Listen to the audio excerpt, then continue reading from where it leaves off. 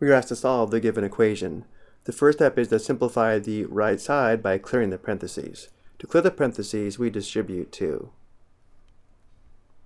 This gives us the equation x squared plus 8x equals 2 times 32 is 64 plus 2 times 4x is 8x. Notice how we have an 8x term on both sides of the equation.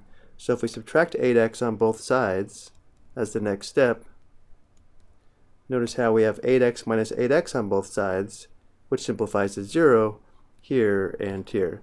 And the equation simplifies nicely to x squared equals 64. So because there's no longer an x term, we can actually solve this quadratic equation using the square root property shown here below, where if x squared is equal to c, then x is equal to plus or minus c. So we take the square root of both sides of the equation, but to make sure we get both solutions, we do include a plus or minus on the right side of the equation. So going back to our equation, to solve for x, we undo the squaring by taking the square root of both sides of the equation. We include a plus or minus on the right. The square root of x squared is equal to 1 factor of x. We have x equals plus or minus the square root of 64. Because 64 is equal to 8 times 8 or 8 squared, the square root of 64 is equal to 8. This gives us our solutions of x equals negative 8 or x equals positive 8. I do want to make one more comment about this plus or minus here. If we go back to the equation x squared equals 64 and we take the square root of both sides, what's really happening here is that the square root of x squared must be positive and therefore the square root of x squared is equal to the absolute value of x. And then on the right side, the square root of 64 is equal to 8. And because we have the absolute value of x equals 8, we know x can equal positive or negative 8, because when we take the absolute value, we will get positive 8. But including the plus or minus here is often explained in textbooks, as we see here below. Either way, make sure we have a plus or minus on the right so that we get both solutions. I also want to make another point about the equation in the form x squared equals 64.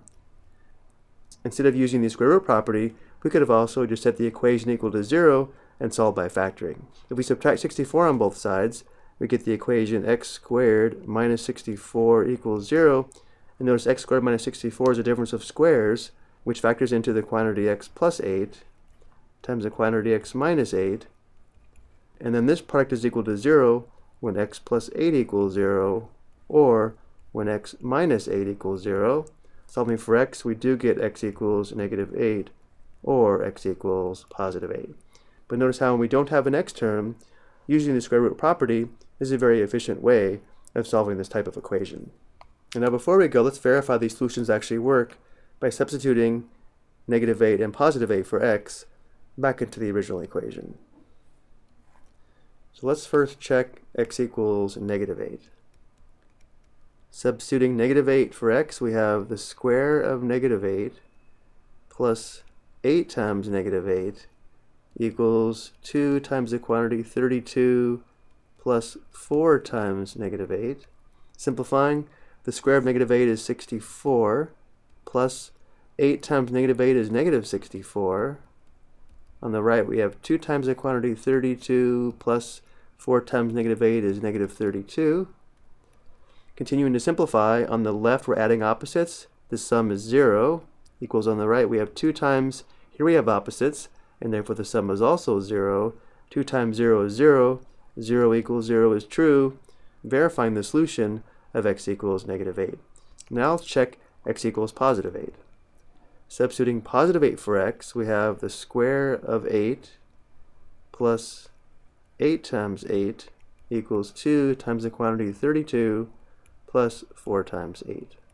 Simplifying, 8 squared is 64, plus 8 times 8 is also 64, equals on the right, we have 2 times the quantity 32 plus 4 times 8 is 32. 64 plus 64 is 128 equals 2 times the quantity 32 plus 32 is 64 and 2 times 64 is 128. Verifying x equals 8 is also a solution. I hope you found this helpful.